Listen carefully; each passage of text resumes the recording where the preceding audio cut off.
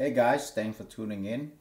The tool that you need for this operation is a 1.5 millimeter hex Phillips screwdriver, um, flathead screwdrivers, and a tweezer.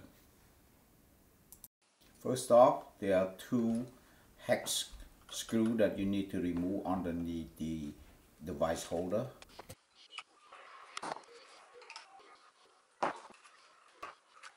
Once those two screws are out, you need to use a small flathead screwdriver and gently pop out those uh, plastic cover underneath the uh, device holder.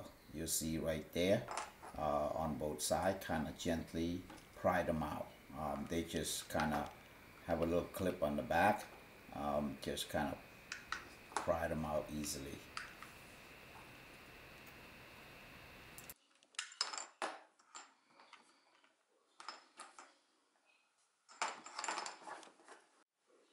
Once the two plastic pieces out, you need to use the same flathead screwdriver and kind of gently pry out the back plate plastic cover to expose the circuitry and the battery. And this is the cover that covered the um, USB port.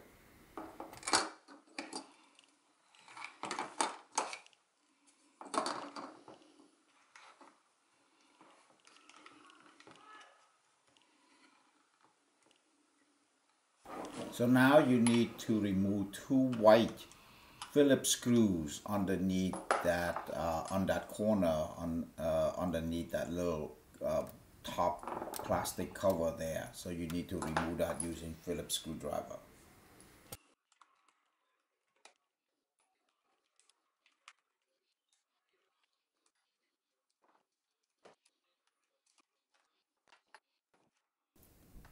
Once the two uh, Phillips screwdrivers uh, loosen and remove, you gently remove the top plate. As you notice, the joystick parts, they are not connecting to any wires. They actually housing underneath that top plate. So just pull them out. You don't have to do anything. Just put it to the side and gently remove the clear screen uh, cover of the LCD display. Next, you need to remove the LCD screen plate. To do that, you'll see the white uh, ribbon cable uh, clip that you need to remove that ribbon cable from the clip itself. So that need to be really, really careful at this point. Take your time, don't rush because this ribbon cable is very fragile. You unlock the clip and kind of use your little screwdriver kind of push it out gently. Um, you don't want to tear or break that ribbon cable. That is um, important.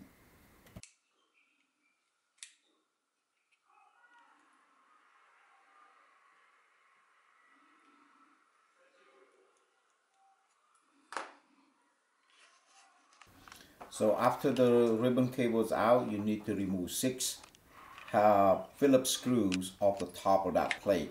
So you just take your time, remove all six of them out of there.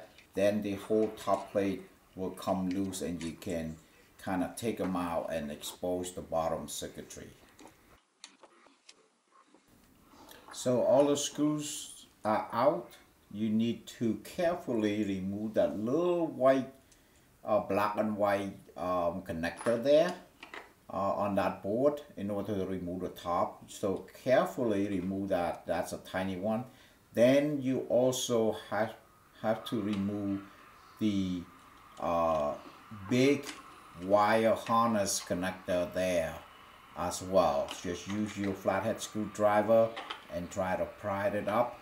Remember the orientation of the different color uh, wires there so when you put it back you know um, the correct way to put it back. Typically it has key um, uh, mark on them so that if you put it the wrong way it won't work.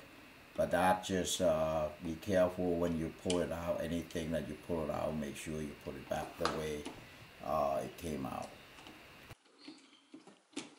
And once that top board comes out just don't pull it too far because there's another ribbon cable that tied to your uh, LCD display. So you don't want to pull it too far and break that cable. So once you lean the board back you can expose the bottom uh, circuit board there. You can actually see the 2.4 gig uh, antenna cable and also the 5.8 gig antenna cable in there. So my goal is to get in there and uh, push it down a little bit because uh, it came loose. So that's how you expose the bottom board. So this controller it seems like the top board is the circuitry for your LCD uh, to get to the bottom uh, radio board you have to remove the top plate. And now you expose the bottom circuit board which you can do uh, any mod modification of your antenna cable and such in the future.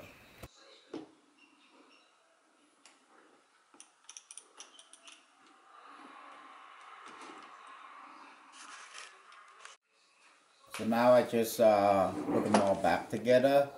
As you can see, everything's all back.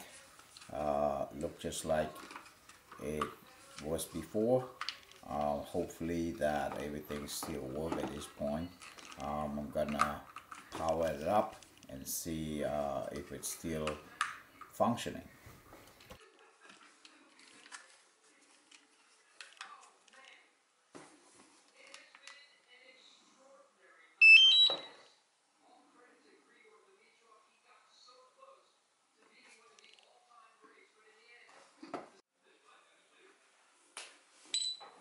Adding mode.